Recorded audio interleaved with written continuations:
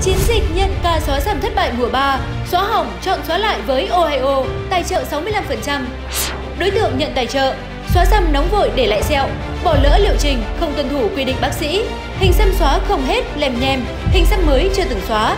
Đột phá giải pháp xóa hình xăm 2021, giải cứu xóa xăm hỏng ở mọi cấp độ, không tổn thương da, sạch 100% màu mực. Phác đồ điều trị chuẩn Bộ Y tế. Môi trường điều trị vô khuẩn, ngừa Covid 3 lớp, lại những hình ảnh ấn tượng của chiến dịch xóa sầm mùa 2. 1.854 lượt khách hàng, 950 hình xăm hỏng, 1.277 hình xăm xóa mới. Kết quả xóa xăm ngoạn mục, không sẹo, hồi phục nền da nguyên bản cho hàng ngàn khách hàng.